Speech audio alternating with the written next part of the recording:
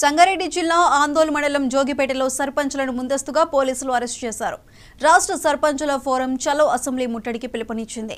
ఆందోళన మండల కేంద్రంలో సర్పంచులంతా కలిసి చలో అసెంబ్లీ ముట్టడి కార్యక్రమానికి బయలుదేరుతుండగా పోలీసులు అరెస్టు చేశారు.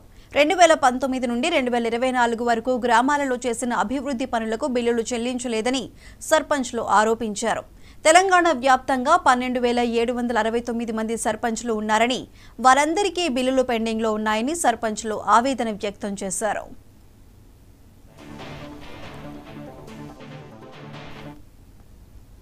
రవాణా